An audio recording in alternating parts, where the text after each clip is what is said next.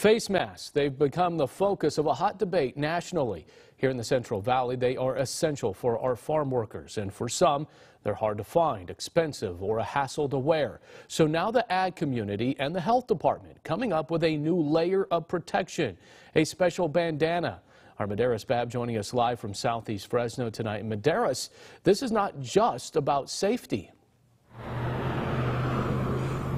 No, it isn't, Alex on, and the county has been trying to keep up with the high demand since the pandemic began. But as I found out today, that's the masks are not what ag workers are asking for. They're asking for something new, and it's not just about the use, it's about the message.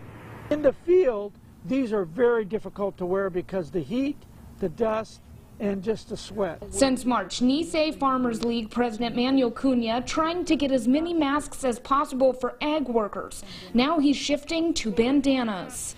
In English and in Spanish with four different types of logos.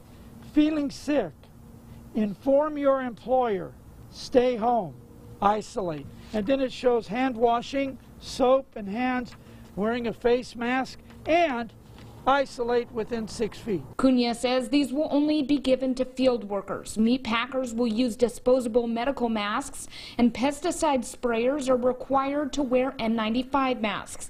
There's an urgent need for masks for essential medical providers. Last week, CRMC telling county officials the hospital only had enough masks for nine days. The county called the state and got 150,000 more.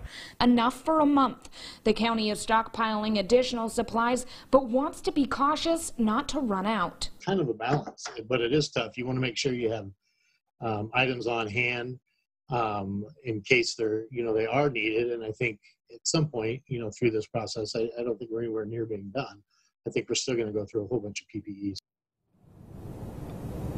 The Farmers League is going to be handing out around 20,000, but their goal is 200,000 of those bandanas. They will also be giving those medical masks to the farmers' families so that they can use them in their own homes. Also, they will be putting five bullet points on the bottom of each one of their checks. These will have COVID-19 facts to help them in terms of staying socially distant and making sure that they isolate or don't don't go to work when they are feeling sick. Reporting live from Southeast Fresno, Medeiros Bab, KSEE24, local news that matters.